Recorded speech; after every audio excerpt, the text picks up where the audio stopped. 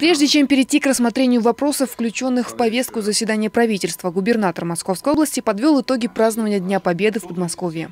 Важным элементом празднования стал бессмертный полк, где каждая семья вместе с друзьями, вместе с детьми могли еще раз рассказать будущему поколению ценность, точнее бесценность той победы. И я уверен, такие мероприятия объединяют. И очень приятно, что в этом году размах бессмертного полка, по сути, вдвое практически превысил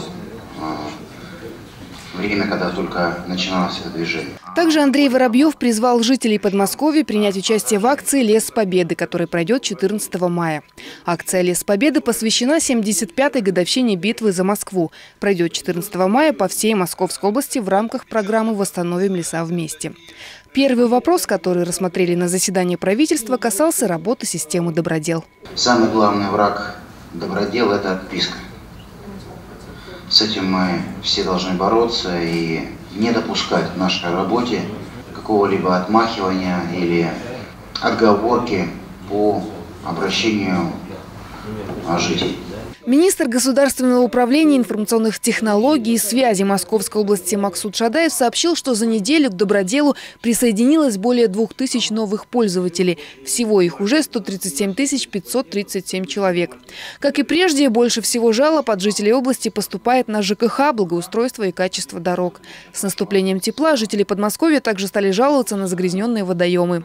Согласно составленным рейтингам, Сергиево-Посадский район не отстает от других по времени реагирования реагирования на ту или иную проблему, заявленную через добродел.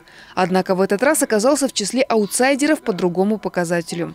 В 38% случаев от общего числа всех поступивших жалоб жители района не подтвердили, что проблема решена.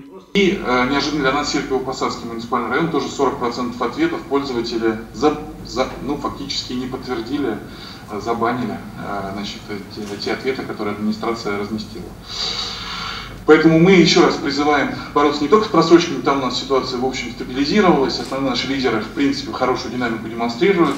Мы хотели бы предупредить тех, кто немножко, мы видим, расслабляется, как, то есть сразу, то есть сразу люди, сразу администрации попадают в красную нашу таблицу, но еще, конечно, особое внимание обратить на качество ответов, потому что пользователи, конечно, стандартный для нас критерий допустимости это 15 Э, процентов, когда пользователи не подтверждают ответы, конечно, когда это почти половина, или там 40 процентов, это, конечно, превышение нашей стандартной нормы, значит, э, больше, чем в три раза. Также на прошедшем заседании поднимался вопрос о нестационарной торговле в Московской области, о ее состоянии и перспективах развития. Сегодня факты говорят о том, что несмотря на сокращение количества ларьков и киосков с 17 до 11 тысяч, мы часто видим, что весь контрафакт, алкоголь, табак – том числе несовершеннолетним, в том числе нарушение закона, продается именно там.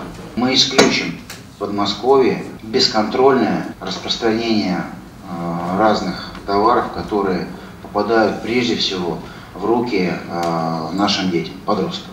По работе в этом направлении соотношению количества и качества нестационарных торговых объектов Сергиево-Посадский район в так называемой «зеленой зоне». Зеленая зона – все те, кто движется в правильном направлении. Обращаю внимание, что данный рейтинг составлен на основе инвентаризации нестационарных объектов и работы муниципалитетов со схемой нестационарных торговых объектов никоим образом не отражает картину фактического состояния данного формата торговли. Это рейтинг качества работы муниципалитета со схемами, со схемами создания альбомов архитектурного облика, ликвидация объектов, находящихся вне схем.